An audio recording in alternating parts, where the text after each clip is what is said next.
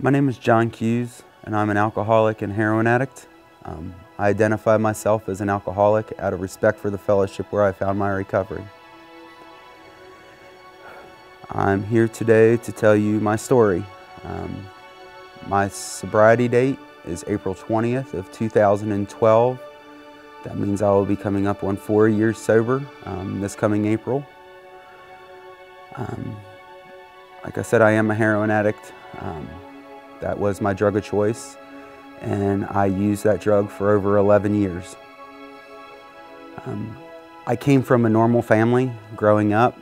Um, I have two older sisters who were very successful in life, as well as a younger brother. Um, none of them have this disease the way that I do. Um, my mom was there for me growing up. Uh, my mother and father separated when I was a young child but I suffered from signs of this disease even as a small kid. Um, I remember lying as a young child. Um, I ate compulsively, um, and I craved the need for power and control. Um, going through school, I was a good student, um, graduated third in my class. Um, I played sports, I worked a job. on the weekends, I drank. When I was at the age of 15, I had a heart attack, and that changed my out, like, outlook on life forever. Um, my first consequences that I suffered from my drinking and using were my sophomore year in high school. We proceeded to drink and thought it was a good idea on the school bus on the way to our football game. Um, we got caught, and I never went back to playing football. Um, when I stopped playing football is when my addiction took off. Um, I got out of school. I would smoke pot and drink on a daily basis. Um, I would still manage to do my schoolwork somehow, but you know, it was no longer a focal point of my life. Um, I graduated high school in June of 2001 with intentions of going to Northern Kentucky University to be a math teacher and a football coach. Um, little did I know that that wasn't the path that I was going to go down.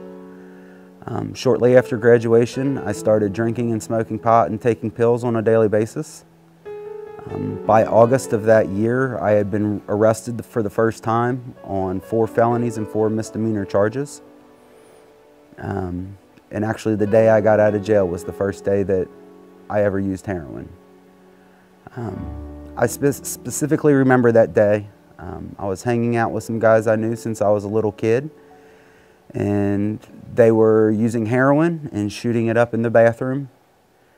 And I went in and they shot me up. And I remember walking out of the bathroom and falling to the floor, and they drugged me to the couch and I remember saying to myself that I was going to do this every day for the rest of my life. It quieted all things in my head. Um, in that time since then, I've been to eight long term treatment centers. I've been to a local detox center over 13 times. I have been in prison for almost five years of my life, off and on and I've been on some type of adult supervision since the age of 18. My using took me to depths that I thought that I would never go. Um, you know, I stole from my family things that could never re be replaced. I remember specifically stealing my mom's wedding ring and taking it to the pawn shop and then helping her look for it for the next three days. And on the third day, I was dope sick again. So I told her where her ring was so that she could go get it. And she went and got it out of the pawn shop and brought it back to the house.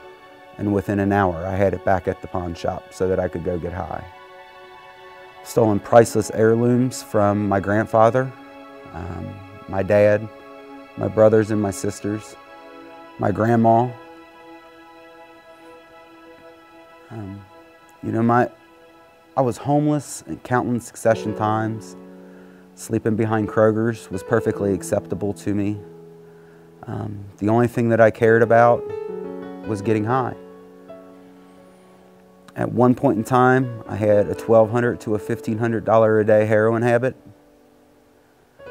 I've sold cars, I've stolen from stores, I've done unspeakable things to obtain my drugs. A normal day for me was getting up and robbing someone, getting shot at, waiting in my car for hours on end for my drug dealer to show up. My sole focus was on me and what I wanted, and what I wanted was to get high. There were times that I was admitted to the hospital for a staph infection in my arm. Uh, they had to operate because they didn't know if they were going to be able to keep my arm or not because the infection was so bad. When I was in the hospital, um, I left and went and copped heroin. And I came back and I overdosed in my hospital bed.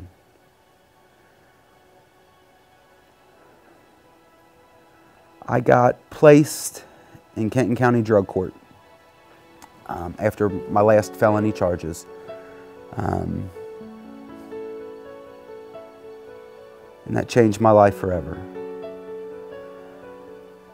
I was in treatment through drug court for about 60 days. And I was lying and I was stealing and I wasn't doing the program of recovery that they suggested to me. And I got caught. And I ran. And um, my last 30 days of using, it was a Friday that I had left treatment and I had sold the car that my sister had bought me. And I went and bought needles. And I remember my drug court counselor specifically calling me and said that he had knew that I had left treatment. And I told him yes I had and I was going to get high. And then I would turn myself in when I was ready. And I only made it 30 days. The day that I ran from treatment, I overdosed and died in the hotel that I was held up in that night. I got up the next morning once I was brought back and overdosed again that next morning and continued to use for the last 28 days. Um, in that time I was on the streets, homeless, didn't have a car. All I carried with me was a backpack with two white t-shirts um, so that I had something to wear that I, when I went to jail and a box of needles and I was perfectly all right living that life because that's all that I knew. 28 days went by and life was pure hell. There were points and times during my use that I remember going into the side door of my bathroom in my apartment and opening the vanity because I couldn't stand to see the person that I had become. I couldn't look in a mirror. Nobody wanted me around, and it had gotten to a point that even the people that I used with didn't want me around unless I had something to offer them. I had no friends. My family still loved me, but they were unwilling to, to give me anymore because I had taken so much from them. On April 19th of 2012, reality finally set in. I was just done and I, I didn't know what it was, but I know I didn't want to be the person that I was anymore. So I went back to jail where I was very comfortable and I turned myself in. I remember sitting in booking in the Kenton County Detention Center and crying my eyes out to the pretrial person because I couldn't understand why I, why I couldn't get better. I couldn't understand why I kept doing the things that I was doing. And I really didn't believe that treatment would work. I really didn't believe that any 12 step fellowships would work. I really didn't believe that God was the answer. And I really did believe that this was just how I was going to live my life the rest of my life. And I turned myself into jail, and they gave me one more opportunity to go back to a treatment center that I had been to four times already. And when I got there, something had already begun to change in me, and I didn't really know what it was. I specifically remember my first two weeks in the treatment center, and all I did was cry, and I couldn't explain why. I felt lonely and empty inside. And to be honest with you, I didn't know if I wanted to live or die. But my first day back at that treatment center, a gentleman, my best friend today, showed up. And it was a guy that I had used with for about eight years. And my last day using, um, he was using with me, and we were held up in a local hotel. Not eating, doing whatever we could to get high, and that's just how we lived our life. And when I ran from that treatment center, he was there. And he stayed and completed the program. And he had started doing a 12 step fellowship. And my first day back at that treatment center, he had heard that I was back and he came to see me. When he came around that corner, I could tell there was something visibly different about this man.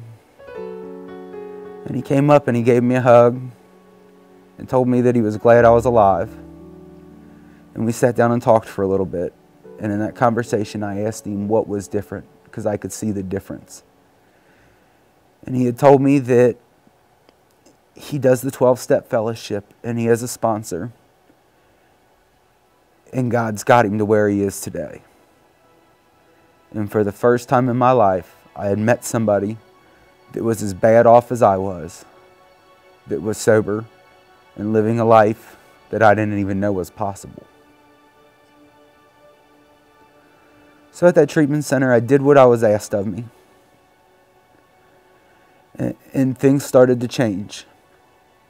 I got a sponsor through my 12 step fellowship and started doing what was suggested of me. I started hitting my knees every morning and every night, and I was praying, and I don't know who or what I was praying to, but that's what was told of me to do. And I didn't know what I believed or what I didn't believe.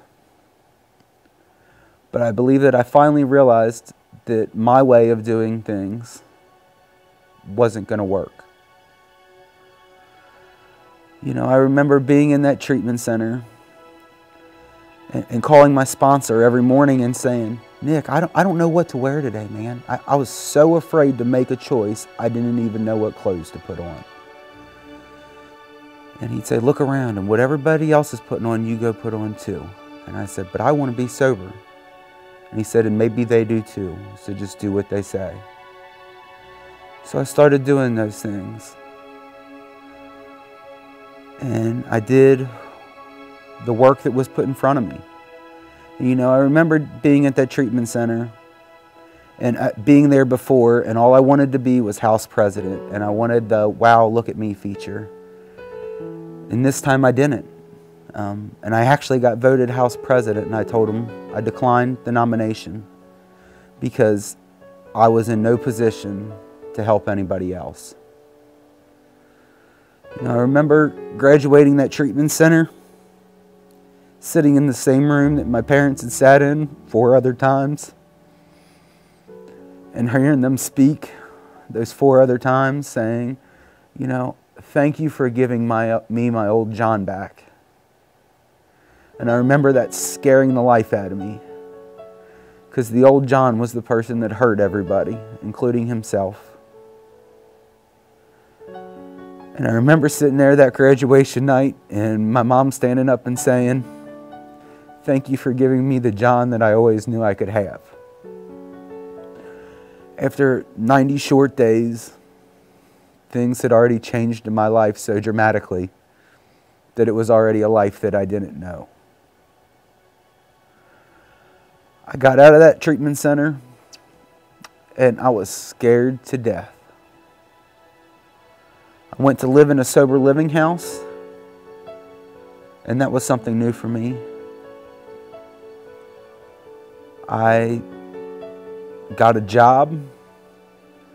And I remember working my butt off for two straight weeks to get a paycheck to pay my bills and have 40 bucks left to last me the next two weeks. And somehow I made it through those two weeks without having to use or rob and steal from somebody. I developed friends that cared about me, not about what I had. People taught me how to be a son, how to be a brother, how to be a nephew and an uncle to my two little nieces and nephews. They taught me how to go to work, to do what was asked of me, and that it was all right not to know the answer. In the almost four years that I've been sober, things have happened that I don't believe would have happened in my life if I wouldn't have been to where I was. My first Christmas sober, my sister didn't want me in her home because she couldn't trust me. She didn't want to allow me back in her life because she believed that it was going to be the same thing over and over again. That John would do well for a short period of time to return to the person that he was. And I understood that for the first time. Their fear was directly created because of my actions. And I understood that. A few short months later, my sister took the family on a vacation, and I was asked to go. Within itself was mind blowing. I had been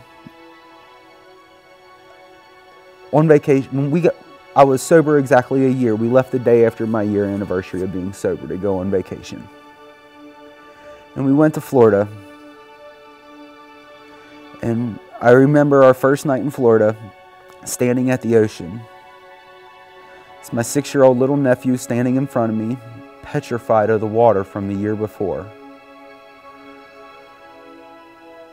And he allowed me to pick him up and walk out into the water. And knew that he would be safe in my arms.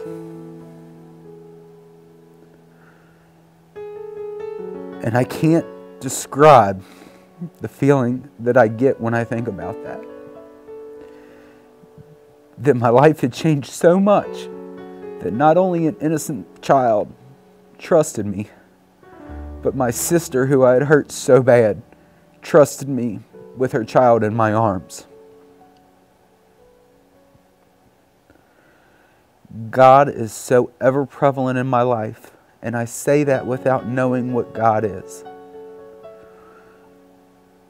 But it's the only explanation I can have for where I'm at today. My journey on recovery hasn't been an easy one. The same problems that life presented to me when I was using are still being presented to me today. But I deal with them I don't run from them. I don't try to hide them. And I don't try to block them out of my mind. Today, where I'm at, I am a father to a 21 month old son who's never had to see his daddy high, who's never had to go to bed at night without his dad being there.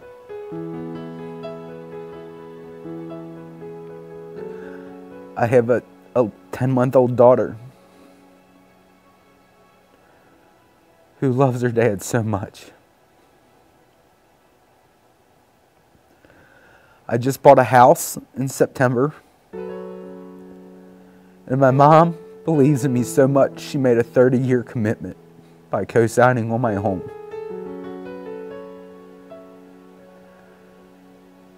I have keys to her house and the garage codes to both of my sister's homes. To homes that I wasn't even allowed in when they were there.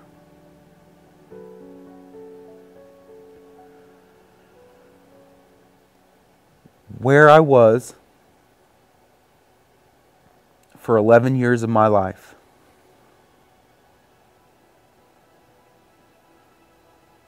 the loneliness and despair that I felt, the hurt that I caused my family, have all but been repaired in the last four years of my life. Caught my first felony charges at the age of 18. I sit here today, 33 years old, a free man for the first time in my adult life. In October, I graduated the Kenton County Drug Court Program, and I'm internally grateful for those people, for the discipline, for the understanding and the compassion for the love that they had for me, to give me one more opportunity to be the person that I am today. Without the 12 step fellowship, I would probably be dead. Without the grace of a loving God, who knows where I would be today? I can't put words on the life that I lived. I can't put a place to where I've been. But what I can tell you is where I am at today is a place that I never dreamed of being possible. When people used to say to me, I want you to live life, I didn't know what they wanted me to live. I didn't know what life was. My drug addiction and my alcoholism have honestly made me the person that I am today. They have given me an outlook on life where I know that everything's going to be all right, provided that I just do the next right thing that's in front of me.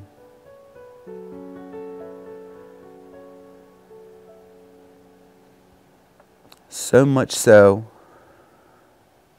that my faith that I have in this program that they've given me is a solution for every problem that I face today.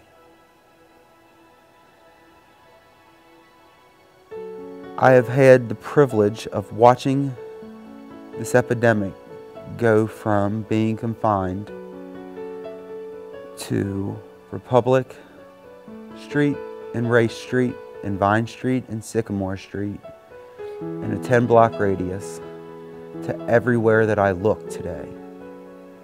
It doesn't matter if I sit in a gas station parking lot or go into a Kroger store.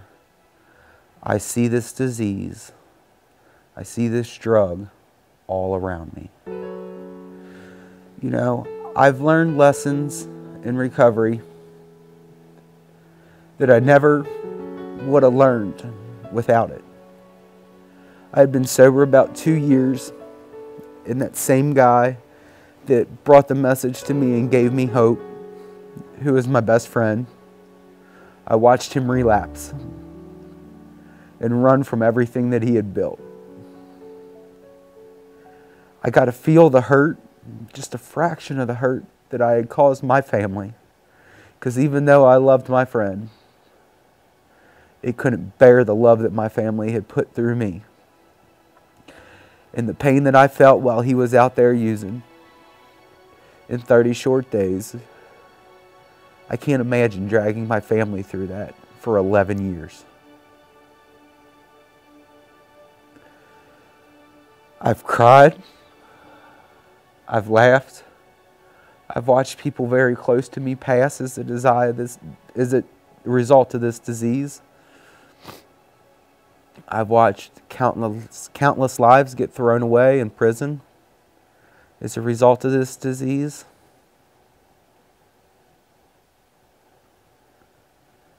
And then I get to sit and look at what my life is today as a result of this disease.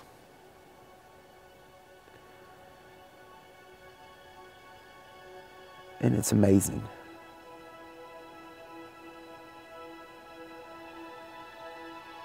I've had the same courts that told me that I should spend the rest of my life in prison grant me custody of my two children until their mother got a little better. I've had those same courts grant me guardianship of my father who, who's dying of this disease so that he could get better.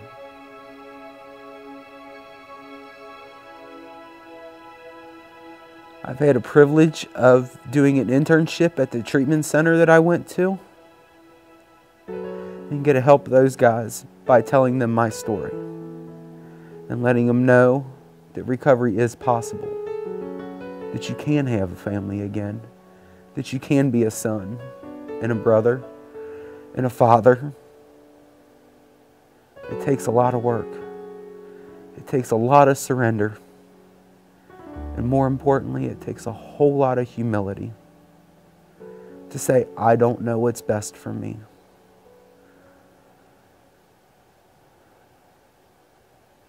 When I graduated drug court on October 1st of this past year, I remember standing in front of that, and the judge asked me how long I had been in the program, and I had told him four years. And he said to me, That's as long as a college education. And then standing in front of that crowd of people next to that judge holding that certificate, my response was, This certificate of completion means more to me than any college education and has probably cost my family more than any college education ever will. And I remember that morning as I knew that I'd have to speak in front of those people, trying to figure out what I was going to say because words can't describe where I was and where I'm at today. Now, I remember sitting in jail for all those years and in treatment centers for all those years and receiving letters and cards from my mom and my grandmother and my sisters. And I remember visits that were 256 miles away one way, and every other weekend my family would come in hopes that I would get better. And I was just thinking about all those things. My mom showed up at my new home and she handed me a letter. And then she left and gave me a kiss and told me that she'd see me at graduation and she loved me. And as she got in her car and she drove off, I read the letter that she wrote. And the letter that she wrote was exactly what I needed to say to those people at that graduation. And I needed to say that because they weren't my words. Because I can tell you who I was and who I am today. But the most powerful thing is when the people that have known you your entire life and who you were and who you are today tell you who you are today. that letter that my mom wrote me. I'd like to read.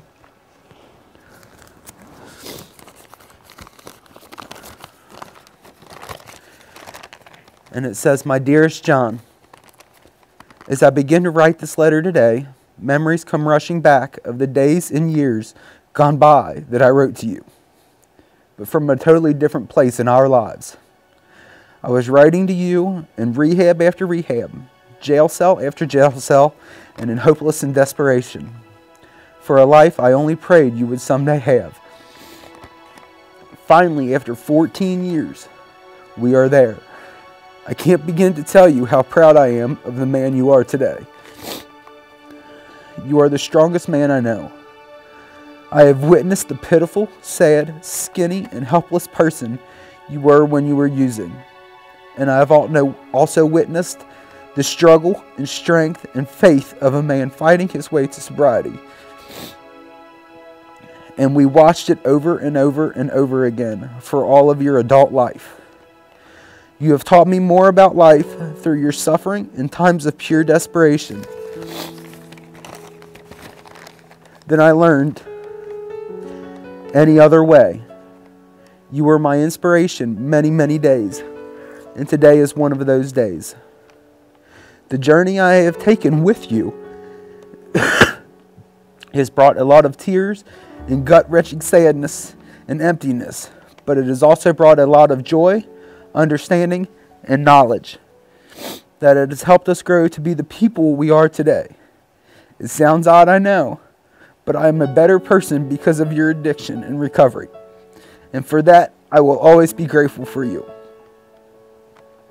Going to classes before visitation every Sunday at Droege House has taught me acceptance and understanding of addiction, while visits in jail taught me humility.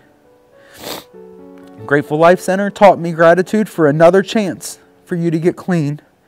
But drug court was the best teacher of all for me. It taught me that discipline and obedience and rules and regulations and no more excuses was the way to go with you if I ever wanted to see you live through this. And Judge Bartlett and Adam will always have my undying respect and gratitude for giving you back to me better than you were before it all began.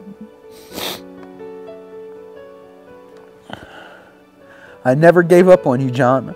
I always knew deep down that you could succeed in recovery and that your life would be a gift to many who suffer like you did. You have a kind heart and a compassion like no other for people who need and hope need hope and help. But most of all, faith. Yours has made me even stronger, and again I thank you. You have so many people who love you and respect you for all you have been through and all you have accomplished, and you have learned all of it the hard way. But your family, your sisters, your brother, your grandma, and most of all me, love you more than you will ever know. You have been special to me since you were before you were ever born, and you will always be my baby. And one of my greatest blessings, I am so proud that, that you are my son. I love you, Mom. To go from where I was to this letter right here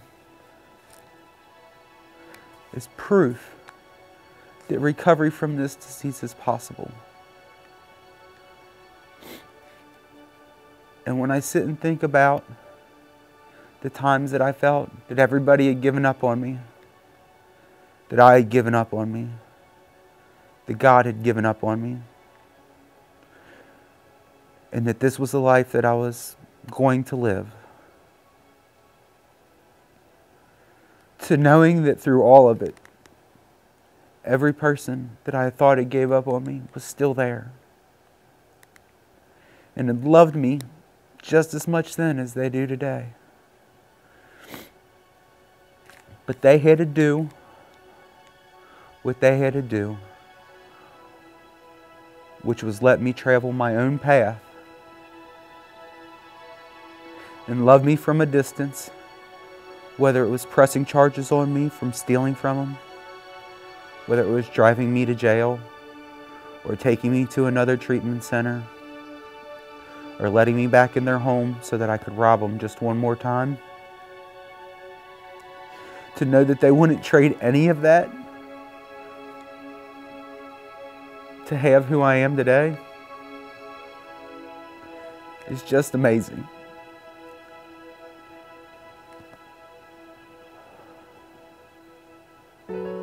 Got a text from my mom the other day saying that I'd do it all again. And I can't say that I would. To know that I can live a life of recovery and to be a father to my two little babies, to get to get off of work and to come to a home that I can call my own to see my fiance, who I love very much, and to open the door. And the first thing that I hear is Daddy. And my little boy, the look on his face when I come through that door. And to feel his arms wrapped around me and him tell me that I love he loves me. That's more powerful than that drug could ever gave me.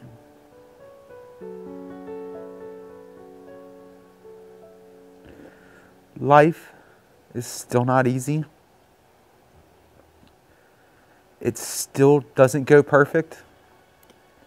And there's a lot of days I end up doing things that I don't want to do.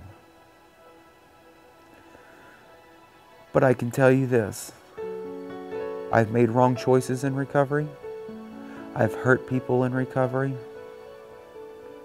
But the two things that I've done in almost the four years that I've been sober is every night when I go to bed, I hit my knees. I thank God for another day. I ask Him for guidance and direction and strength to follow the path that He sets forth in front of me. I ask for Him to keep my faith in Him, to show me who He wants me to be, and show me where I'm of most use. And most importantly, no matter how bad it gets, as long as I remember that as long as I just don't use today, I have a shot at a different tomorrow. For those two things, I'm eternally grateful. And I'll never stop doing them. Because I know that if I do,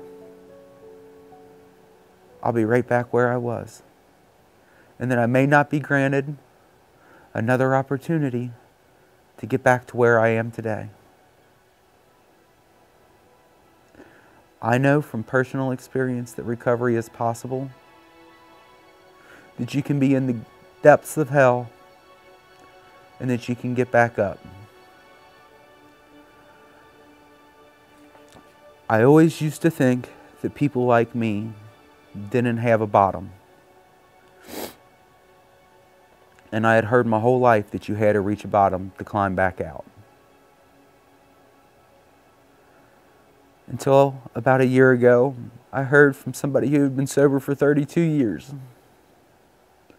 And what he said to me, it all kind of made sense.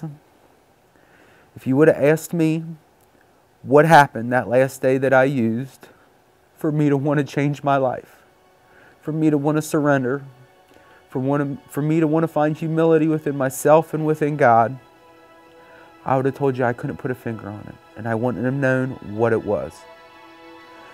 And that day, that gentleman told me, he said, everybody's bottom is when they can't stand to be the person that they are anymore.